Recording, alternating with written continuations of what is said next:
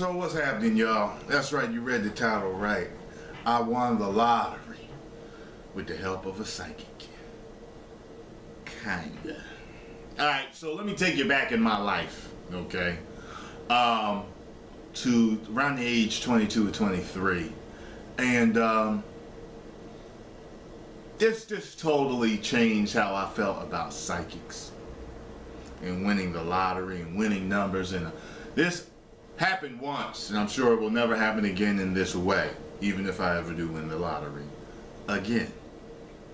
So at the time, I was getting a lot of um, mail. This is before email, really. I was just getting a lot of mail, and uh, it was like psychic mail. Like you know, help you do this, help you do that, find your love, bring more money into your life, and I'm sitting here like, right, whatever. You know, I would read the letters that would come in to me and shit. And this one guy, it was a man. It was a male psychic, and he sent me, he said, these are your lucky numbers. Now, I cannot remember if he gave me five numbers or six numbers.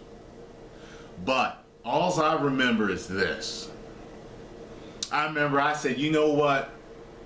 He said so much in his letter that sparked my attention because he got a few things right. I said, you know what?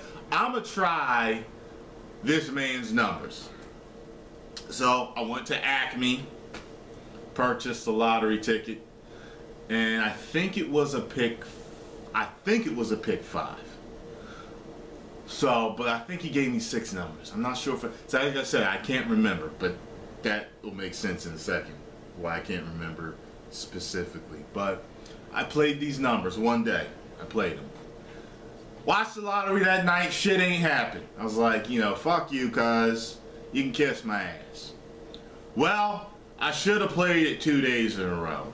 Or at least did like a five day run or something. Because the very next day,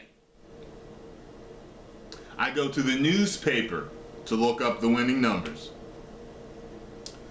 And five of the six numbers, or four of the five numbers, see, I can't remember which one I played, came out. And I would not have won the jackpot, but I would have won $30,000. Yeah. Yeah, I just heard the whole crowd go, oh, yeah. Sinking feeling. Fucking sinking feeling.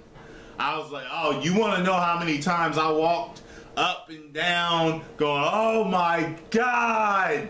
Oh my God, no, no. Because I fucking needed that money back then. At that time, I needed that money. I couldn't fucking believe it. You know, I've got letters, you know, here's your lucky numbers. Yeah, call and get your lucky numbers. I'm a psychic man.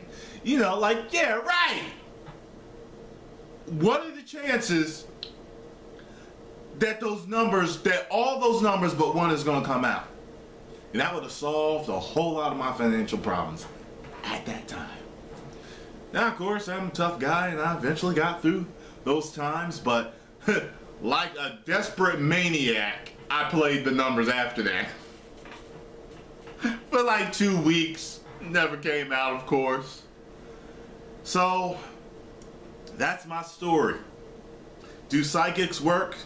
I guess they fucking do. Because, come on now.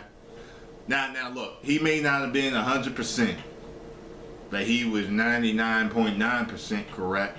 Because if I had got that last 0.9, I'd have been a millionaire. Yeah, exactly. So, uh, take psychics a little bit more seriously, people. And uh, that's my story of woe about winning the lottery, kinda, almost. Oh, a million subscribers. Woo!